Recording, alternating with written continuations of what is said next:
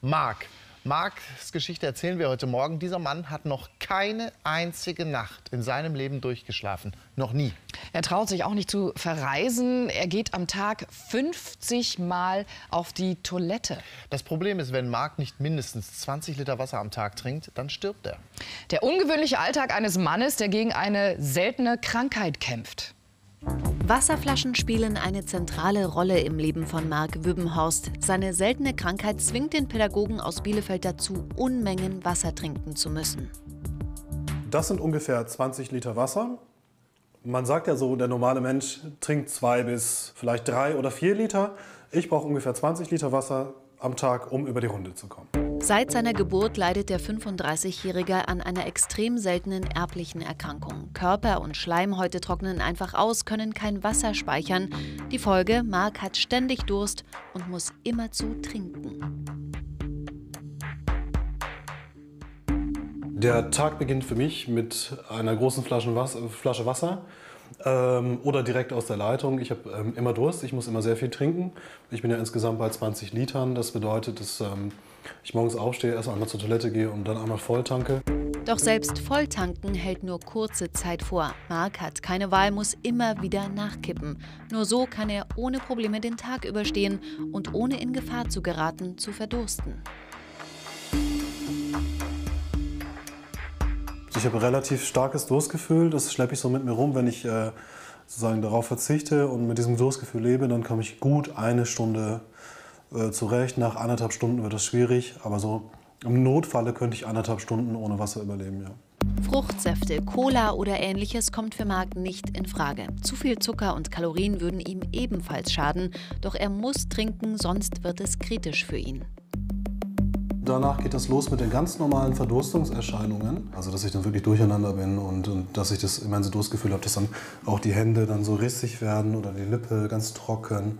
So, dass ich Schwierigkeiten habe, mich zu artikulieren. Das ist, ist nach zwei Stunden. Das sind die normalen Verdurstungserscheinungen, die andere Leute nach zwei, drei Tagen haben.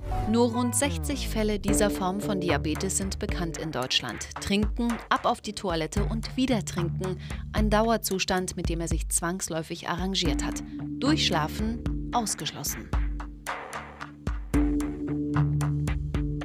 Ich habe eine, kann man sagen, innere Wasseruhr. Das heißt, ich habe das Gefühl, aufstehen zu müssen und ich habe, ich, ich habe Durst, ich muss zur Toilette, ich habe, Druck und ähm, dann stehe ich so alle zwei Stunden bestimmt auf. Eine halbe Stunde mehr Pause zwischen den Klobesuchen als am Tag. Was für eine Krankheit aber ist diese Diabetes insipidus renalis, die Mark so drastisch einschränkt? Der Patient verliert kontinuierlich Wasser und das kann durchaus mal 20, auch 25 Liter am Tag sein.